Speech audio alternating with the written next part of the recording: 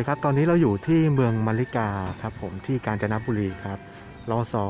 124 ครับ ก็เป็นอีกสถานที่ท่องเที่ยวหนึ่งนะครับ ที่อยู่ในเมืองกาญจนบุรี แล้วก็จะเป็นการท่องเที่ยวแบบย้อนยุคครับ ซึ่งหลังจากที่มีการผ่อนปลนโควิดเนี่ยตอนนี้คนก็ยังน้อยอยู่ครับ แต่ว่าที่เมืองมาริกาเนี่ยก็เริ่มเปิดแล้วนะครับ ก็จะมีการแต่งชุดไทยอย่างเงี้ยนะครับ แล้วก็เดินเข้าไปด้านในก็จะมีข้าวของเครื่องใช้ต่างๆ ในยุคสมัยช่วงรัชกาลที่ 5 ครับที่จะ จัดแสดงอยู่ภายใน แล้วก็เป็นเมืองที่ใครที่ชอบถ่ายรูปแบบย้อนยุคเนี่ยน่าจะชอบครับผมเดี๋ยวเราเข้าไปดูข้างในกันนะครับ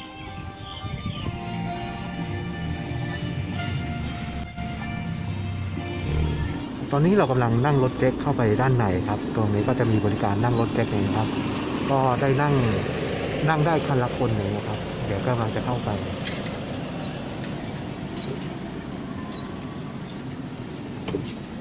เรือนแพเรือสองกับเรือนแพ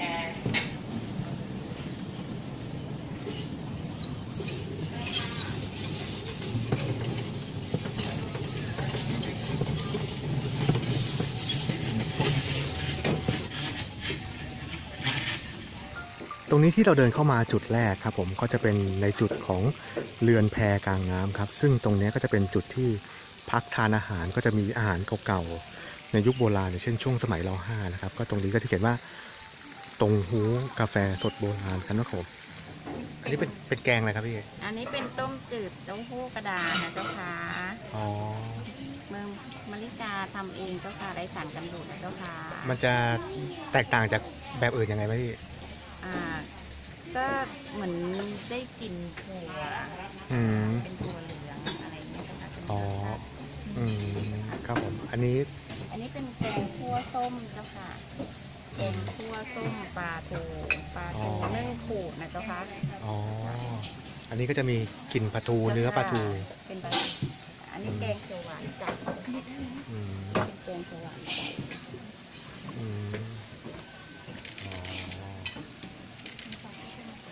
อาหารส่วนใหญ่นี้จะมีช่วงกี่โมงถึงกี่โมงนะครับพี่หรือช่วงตรงนี้ก็จะขึ้นเก้าโมงครึ่งเจ้าค่ะเก้าโมงครึ่งอาหารจะลงมาตรงนี้เก้าโมงครึ่งจนถึงกี่โมงนะครับพี่ถึงเนี่ยประมาณเป็น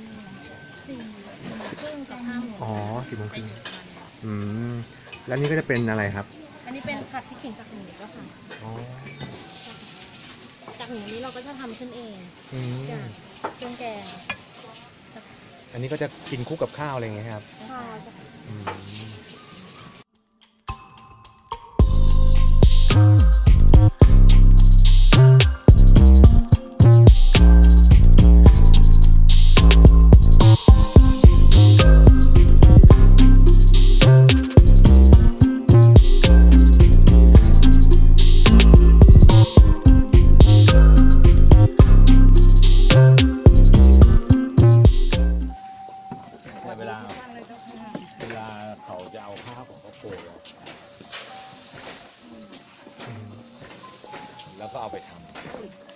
ำโอ้ยฟุ้ง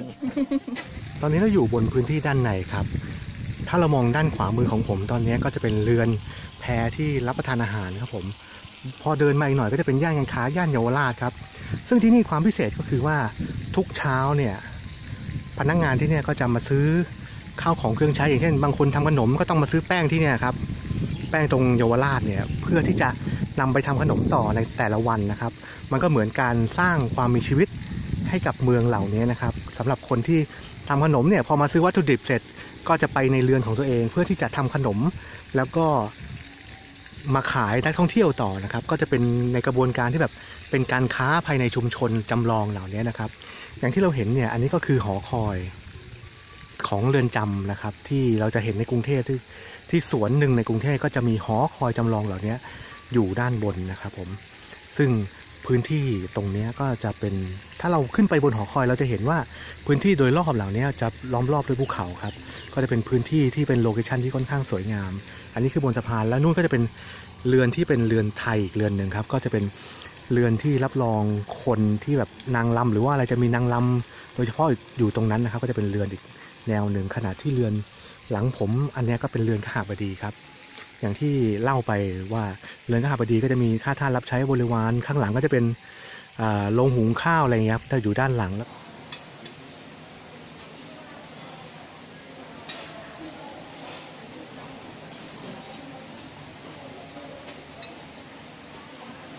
เห็นว่านี่คนนิยมมาซื้อใช่ไหมครับ ขนมครกเนี่ยอ๋อ มันมีไส้อะไรบ้างครับ มีต้นหอมไม่เดียวครับ อืมเป็น สูตรแบบโบราณแต่จะต้องหอมอย่างเดียวอ๋อใส่ต้นหอมอย่างสูตรโบราณอ่าอืมนั่นแบบรุ่นใหม่อ๋อแล้วนี่คืออุ่นไว้ใช่ไหมครับใช่ครับอ๋ออันนี้เป็นหมูสะเต๊ะอะไรครับคือสเต๊ะชวาเจ้าค่ะอ๋อชวา มันจะพิเศษยังไงครับอันนี้ ก็คือเครื่องเทศเราหมักลงไปในหมูแล้วเจ้าค่ะ ส่วนน้ำจิ้มจะเป็นน้ำจิ้มมาจาดนะเจ้าค่ะ อ๋ออย่างนี้นะครับ ใช่เจ้าค่ะ อย่างจานนี้เท่าไหร่ครับ อ่าขายเป็นไม้เจ้าค่ะ ไม้ไม้ละสามสตางค์เจ้าค่ะอ๋อน้ำอะไรบ้างครับพี่แนะนำหน่อยมีน้ำกระเจี๊ยบลำไยใบเตยน้ำมันชันมะนาวน้ำมะพร้าวต้มใบเตยน้ำพริกหวยน้ำมะตูมเจ้าค่ะอ๋อ น้ำอะไรที่ขายดีที่สุดครับที่ เอ่อจะเป็นน้ำเก๊กฮวยเจ้าค่ะแล้วเป็นน้ำใบเตยเจ้าค่ะอ๋อ แล้วน้ำลำไยอืม อันน้ำมะนี้นาวน้ำมันชันมะนาวก็ขายดีอ๋อ อันนี้แก้วเท่าไหร่ครับที่เอ่อหกสตังค์เจ้าค่ะหกสตังค์อืมหกสตังค์เท่ากับสามสิบบาทเจ้าค่ะ อ๋อสามสิบบาท โอเคครับ ขนมเบื้องโบราณนะครับ มันมีไส้อะไรบ้างครับอันนี้ มีไส้หวานกับไส้เค็มค่ะอ๋อ ไส้หวานกับไส้เค็ม ไม่ได้มีไม่ได้มีครีมแบบที่เราเห็นนะนะทำเป็นแท้เลยได้ไหมคะ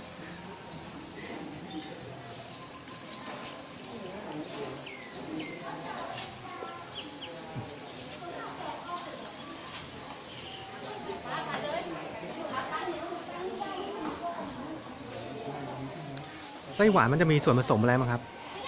เป็นไก่ทองเจ้าค่ะ อ๋อฝอยทอง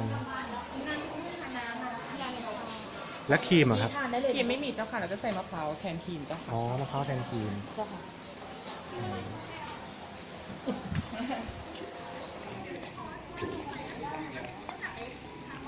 ตรงนี้เป็นอะไรนะครับเอาไว้แลกเงินค่ะ อ๋อ มันแลกยังไงมั้งครับที่นี่ ก็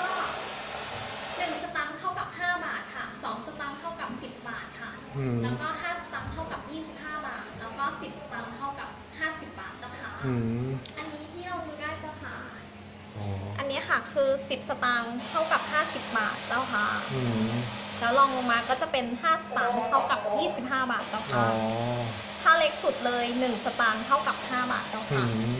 อันนี้เขาเรียกเหรียญอะไรนะครับ สตังค์รูค่ะอ๋อสตังค์รูใช่ค่ะ อืม สมัยก่อน อ๋อ แต่อันนี้คือเป็นเหรียญจำลองขึ้นมาแต่ของจริงเราไม่มีค่ะอืม ค่ะ ถ้าอย่างนี้แนะนำได้ไหมว่า ถ้าคนเข้ามาเที่ยวเนี่ยเขาควรจะแลกต่อคนเท่าไหร่ถึงจะพอในการที่จะกิน ก็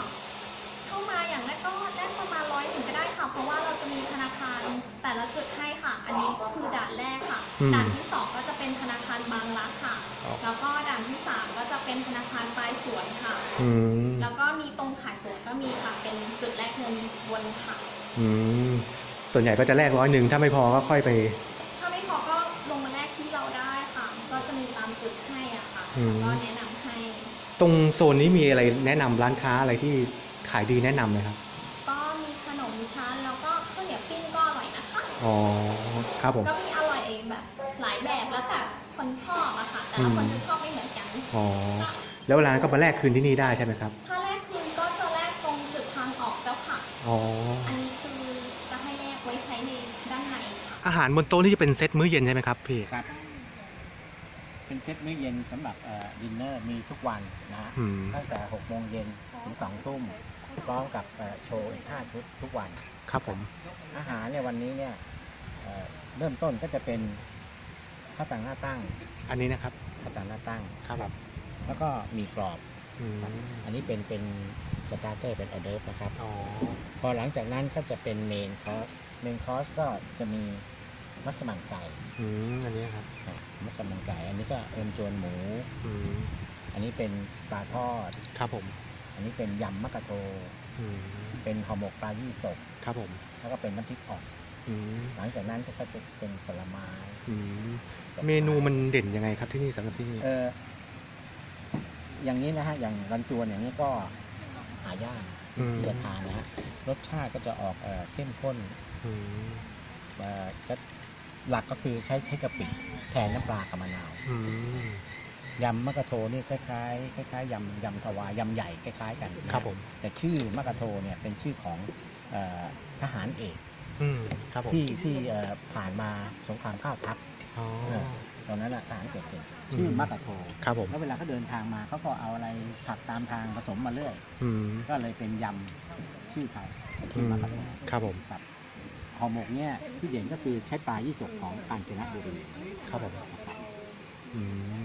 แล้วน้ำพริกอันนี้น้ำพริกอะไรครับ อันนี้น้ำพริกอ่องก็